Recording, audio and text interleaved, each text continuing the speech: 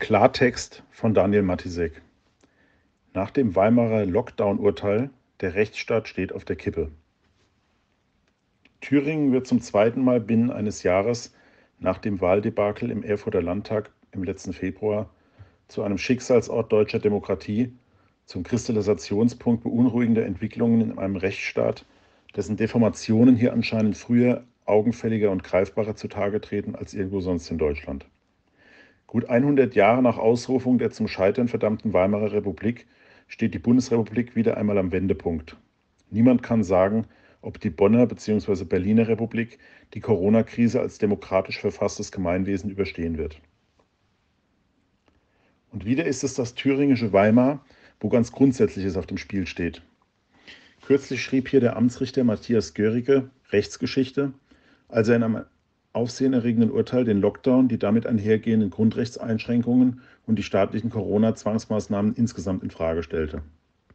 Konkret ging es in der Entscheidung nur um die Lappalie eines 20-Euro-Bußgelds wegen einer illegalen Geburtstagsparty im ersten Lockdown, doch in seiner fundierten Begründung legte Gericke ausführlich und wohlfundiert dar, warum aus seiner Sicht die politischen Corona-Maßnahmen wirkungslos, unverhältnismäßig, verfassungswidrig und somit nichtig seien.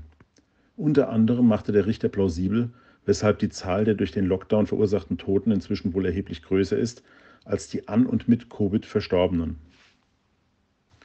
Doch noch bevor die sensationelle Urteilsbegründung überhaupt ihre gebührende öffentliche Wirkung entfalten und ins Bewusstsein der Bevölkerung dringen konnte, setzten Koronazis und regierungsloyale Hardliner in der thüringischen Justiz schon alle Hebel in Bewegung, das Weimarer Urteil aufzuheben und von einem anderen Richter neu verhandeln zu lassen. Unter ihrem leitenden Oberstaatsanwalt Hannes Grüneisen arbeitet die Staatsanwaltschaft Erfurt als weisungsgebundene und damit politisch gesteuerte Behörde derzeit mit Hochdruck daran, Gericke's angebliche Skandalentscheidung vom Oberlandesgericht Jena kassieren zu lassen. Und zwar mit einer haarsträubenden Begründung, die aufhorchen lässt. Das Urteil sei falsch, es schlage hohe Wellen und müsse daher, Zitat, schnell gerade gerückt werden. Zitat Ende denn es hätte das Potenzial, sich auch auf andere Fälle auszuwirken und so womöglich eine Kettenreaktion in der Justiz auszulösen, der einzigen Staatsgewalt, die, zumindest nominal, von den semidiktatorischen Regierungsvollmachten des Infektionsschutzgesetzes nicht betroffen ist. Noch nicht, jedenfalls.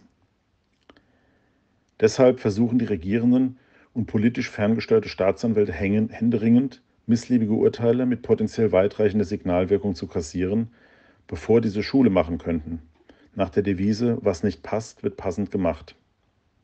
Die Erfurter Staatsanwaltschaft rechtfertigt dies wie folgt. Es gelte, Zitat, unerträgliche Unterschiede in der Rechtsprechung zu verhindern, Zitat Ende. Ein Satz, den man zweimal lesen muss. Dass Gerichte zu unterschiedlichen Schlüssen gelangen können, ist für die Justizbehörden also unerträglich, gilt ab sofort nicht mehr das Prinzip des unabhängigen Richters, soll ab sofort wie in der DDR einheitlich geurteilt werden innerhalb vom Politbüro vorgegebener Beschlusskorridore, dass dieses bedenkliche Justizverständnis ausgerechnet im Zusammenhang mit einem Urteil zutage tritt, das einem zunehmend anmaßenden und autoritären Regierungs- bzw. Verwaltungshandeln Grenzen aufzeigt, wirft ein sehr bedenkliches Licht auf den Rechtsstaat.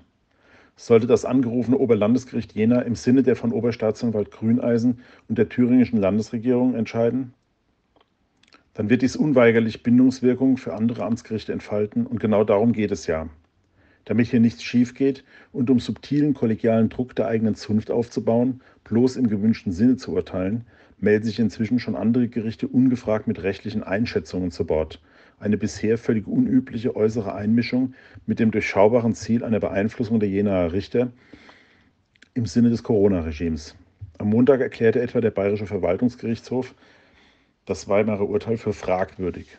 Vermutlich will man damit auch in Bayern gleich etwaige abtrünnige Richter im Staat des Södolf präventiv abhalten, Urteile mit einem vergleichbaren Tenor wie bei Görige zu fällen.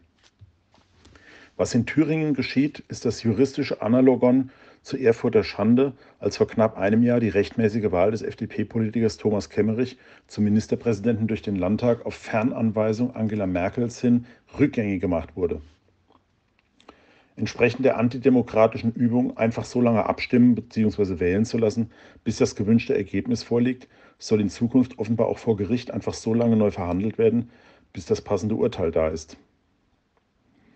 Parallel zu diesen juristischen Versuchen, unliebsames Recht rückgängig zu machen, läuft, doppelt hält besser, auch noch eine beispiellose Verleumdungskampagne gegen Richter Gericke, die diesen in die geistige Nähe von Covidioten, Verschwörungstheoretikern und Querulanten rücken soll.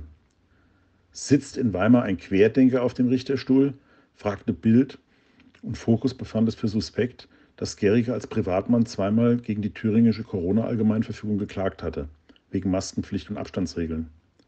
So viel Unbotmäßigkeit und Freisinn genügen heutzutage anscheinend schon, um zum spinnerten, gemeingefährlichen Volksfeind gestempelt zu werden.